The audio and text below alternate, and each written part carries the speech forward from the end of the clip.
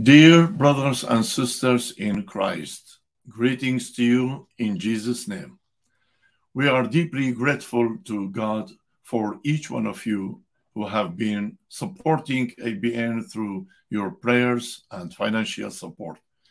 As we take our next step in the ministry, we are asking you to join us in supporting ABN once again on Giving Tuesday this November 29th.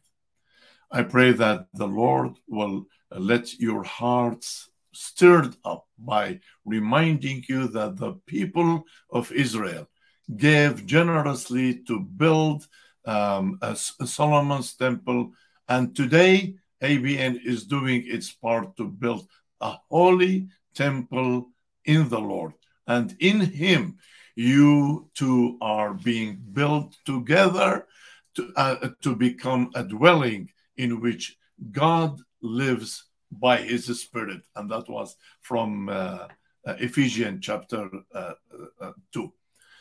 And, uh,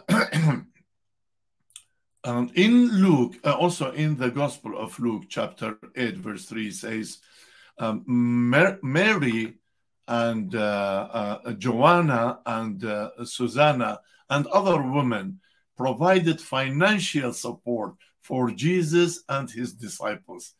And in like manner, when you support ABN, you become a builder and a global missionary through ABN ministry. Please be generous in supporting ABN on giving this Tuesday, November 29th, and also in your monthly support. There is much and much work for us to accomplish, and ABN is looking forward to work, working with you in the Middle East, in the 1040 window, in sub Saharan Africa, and many other nations of the world.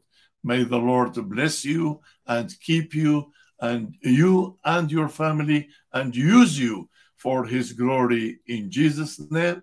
Amen. Happy Thanksgiving, and God bless you.